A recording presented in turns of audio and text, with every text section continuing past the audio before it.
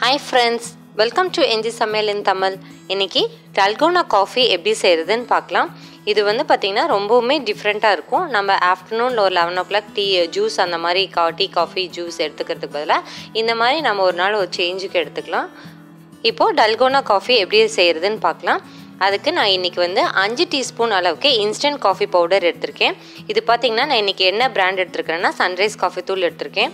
அதை வந்து அஞ்சு டீஸ்பூன் அளவுக்கு எடுத்துக்கோங்க. நான் வந்து இன்றைக்கி சின்ன ஷே ஷேஷே பாக்கெட்டில் தான் எடுத்திருக்கேன். அது வந்து டூ ருபீஸ் பேக் வந்து நான் அஞ்சு பேக்கெட் எடுத்திருக்கேன். அதே அஞ்சு டீஸ்பூன் அளவுக்கு ஒயிட் சுகர் சேர்த்திக்கலாம்.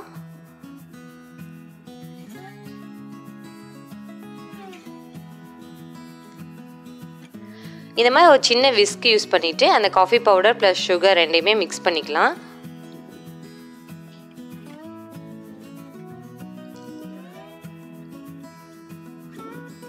இப்போது தண்ணி சேர்த்திக்கலாம். தண்ணி வந்து நான் நல்லா ஹாட் வாட்டர் எடுத்திருக்கேன். நல்லா தண்ணி வந்து நல்லா கொதிக்கிற அளவுக்கு சூடு பண்ணிக்கோங்க. நல்லா சூடு பண்ணிவிட்டு இப்போ அந்த அஞ்சு டீஸ்பூன் அளவுக்கு தண்ணி சேர்த்திட்டு மூணையுமே இப்போ நல்லா மிக்ஸ் பண்ண போகிறோம் இதனோட ரேஷியோ பார்த்தீங்கன்னா five is to five is to five அஞ்சு டீஸ்பூன் காஃபி பவுடர் அஞ்சு டீஸ்பூன் சுகர் அஞ்சு டீஸ்பூன் தண்ணி. மூணுமே சேர்த்திட்டு ஃபஸ்ட்டு மிக்ஸ் பண்ணிங்கன்னா இந்த ஸ்டேஜில் இருக்கும்.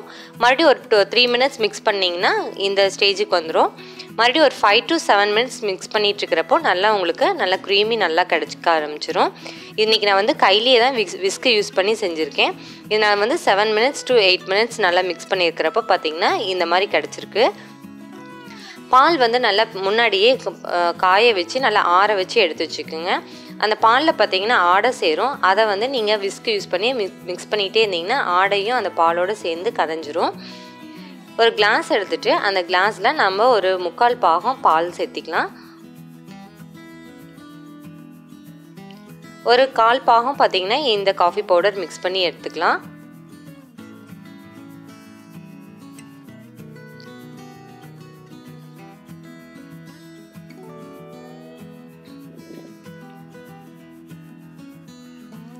அவ்வளோதான் இதை வந்து நம்ம சாப்பிட்றப்போ ஒரு ஸ்பூன் யூஸ் பண்ணிவிட்டு நல்லா பால் மேலே உள்ள அந்த க்ரீமியோட நல்லா மிக்ஸ் பண்ணி சாப்பிட்டிங்கன்னா ரொம்ப டேஸ்ட்டாக இருக்கும்.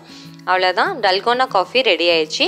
இது செஞ்சு பார்த்துட்டு எப்படி இருக்குன்னு கமெண்ட்டில் சொல்லுங்கள் இந்த வீடியோ பிடிச்சிருந்தா லைக் பண்ணுங்கள் ஷேர் பண்ணுங்கள் மறக்காமல் சப்ஸ்கிரைப் பண்ணுங்கள் தேங்க்யூ